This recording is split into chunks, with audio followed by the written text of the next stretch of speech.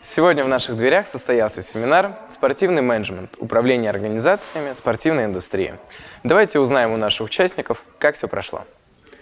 Светлана, могли бы вы поделиться своими впечатлениями о семинаре? А, здравствуйте, я ученица Московской бизнес-школы и сама в прошлом профессиональная спортсменка, баскетболистка, заслуженный мастер спорта. И только закончила карьеру и пытаюсь получить лучшее образование и использовать время для улучшения как бы, себя. Именно учась по программе MBA, там предоставляется возможность обучения в нескольких семинарах, и для учащихся MBA программы эти семинары бесплатны. И, конечно, когда я нахожусь в Москве, я с удовольствием их посещаю именно в своей отрасли а, спортивная индустрия. Мне это очень интересно, потому что как профессиональный спортсмен ты видишь это с одной стороны, а совершенно другое дело, когда тебе рассказывают об этом профессионалы, которые сами организовывают мероприятия, сами владеют клубом, сами преподают в других университетах. И мне это очень интересно и очень полезно.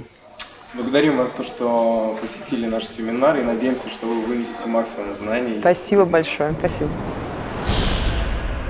Анатолий Анатольевич, подошел к концу ваш семинар, который вы проводите совместно с вашими коллегами. Могли бы вы в двух словах рассказать о том, как все прошло? Ну, э, во-первых, хотел бы поблагодарить Moscow Business School за отличную работу по организации семинара и, соответственно, интересных слушателей, которые его посетили. Мы э, с коллегами немножко подработали формат этого семинара, немножко обновили тематику. Вот. Ну и, соответственно, постарались дать э, слушателям некую сжатую информацию, сугубо практическую, по проблеме управления спортивными организациями. Соответственно, господин Ларин, мой коллега, специалист по билетным программам. А, вот, а также по фитнес-индустрии. А Демьян Сидоренко занимается ивентами, да, то есть проведением спортивных культурно-массовых мероприятий и вопросами мерчендайзинга.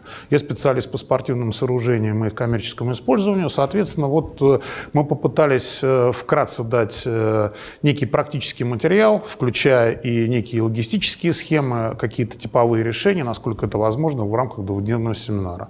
Группа была очень хорошо подготовлена, с ними было интересно.